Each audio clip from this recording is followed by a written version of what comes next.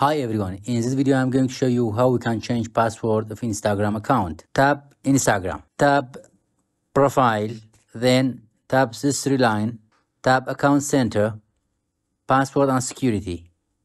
Change password. Okay. Insert current password. Okay. New password. Change password. It is done. If you found this video helpful, like it, leave a comment and subscribe. Have a nice time.